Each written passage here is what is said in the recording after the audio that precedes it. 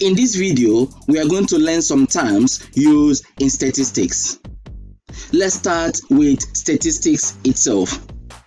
This is the collection of data for tabulation, analysis, interpretation, and representation on ordered and ordered sets of numbers. Unordered lists are simply raw, unprocessed data. This is unordered sets of numbers. This set of numbers need to be rearranged in order before analysis. Putting a number in ascending order makes it an ordered set. Population and sample. In statistics, population simply means what you are trying to consider for analysis, while sample is simply a subset of the population. This is simply taking few elements out of your initial considerations. For example, population can be the collection of all the cars owned by a university, while sample can include only the cars owned by civil engineering department only. Another example is consider any city in the world. That becomes your population for the statistics. While the sample can be statistically analyzing the quality of care for old people in that city. Sample is simply a subset of a population.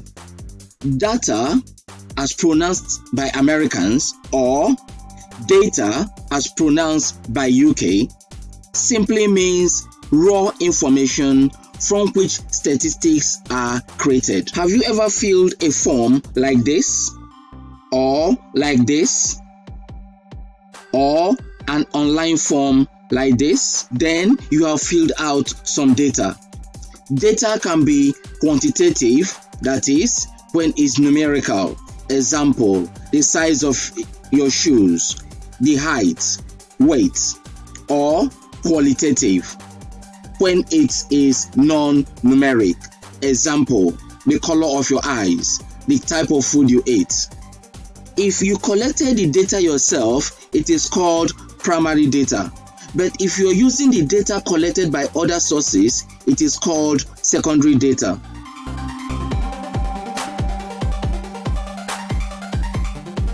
Central tendency. This deals with mean, which is the average of a set of values. Also, median, which is the middle number in a set of values. Also, mode, which is the number that appears most frequently in a given set. When the mode is 2, it's called bimodal and when we have more than two modes, it is called multimodal. At times, mode might not occur in a given set. Dispersion. Dispersion deals with range, variance, and these formulas is for ungrouped data. For grouped data, the variance formula is this. Standard deviation is simply the square root of the variance and it shows how far each consideration is away from the mean.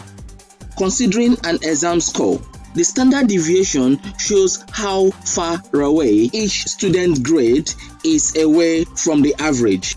That is, how spread out the exam grades are the z score formula. It's simply the difference between the score and the mean over the standard deviation. Frequency distribution is simply a table that displays the frequency of various outcomes in a sample. For example, this is the systolic blood pressure of 1,212 patients collected in a clinic and these are the qualifications of applicants collected during a job application. When the considered population is too large, then they are grouped into class intervals before analysis.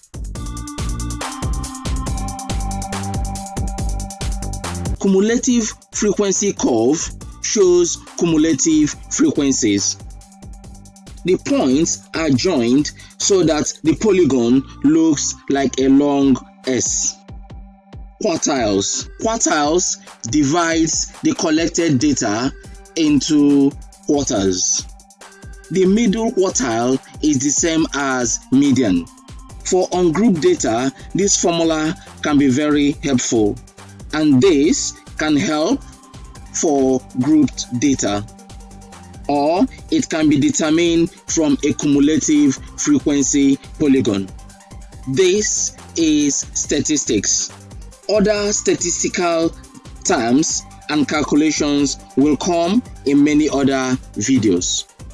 Next topic will be the difference between ungrouped data and grouped data. I will see you in the next video.